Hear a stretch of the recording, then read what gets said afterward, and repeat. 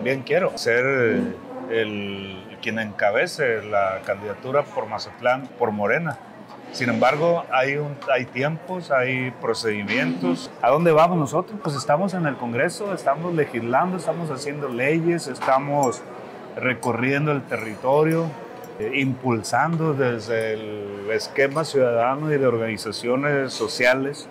Soy uno de los 70 eh, consejeros que conformamos la dirigencia estatal de Morena en Sinaloa. Corazón está con Claudia Sheinbaum.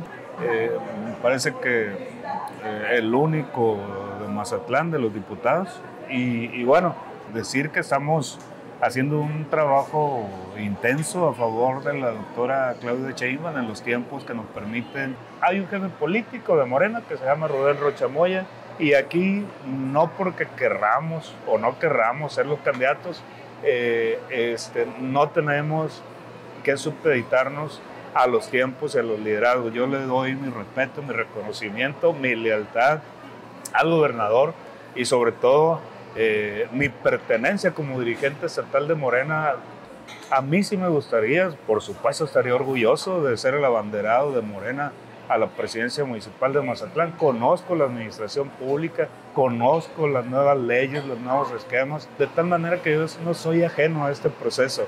Lo que sí te digo es que hay que esperar los tiempos, hay que ser respetuosos.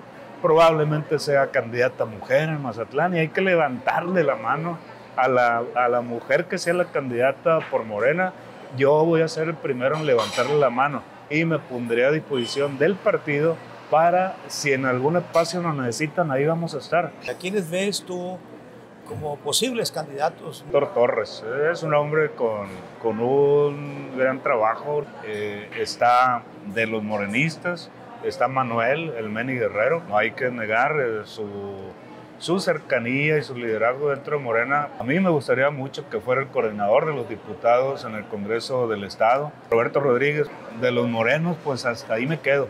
Dijiste Morena, bueno, casi dijiste oportunistas, que no va a haber entrada o cupo para oportunistas. Nosotros los morenistas y la gente del pueblo está harta de esa fastuosidad, de esa forma de hacer política.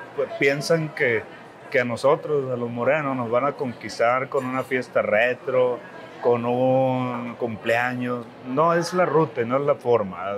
De hecho, nosotros los morenos, y se lo puede preguntar a cualquier militante, vamos a ser muy exigentes en el tema de las candidaturas y a lo mejor esa exigencia nos va a bajar alguno de los que estamos propuestos, ¿no?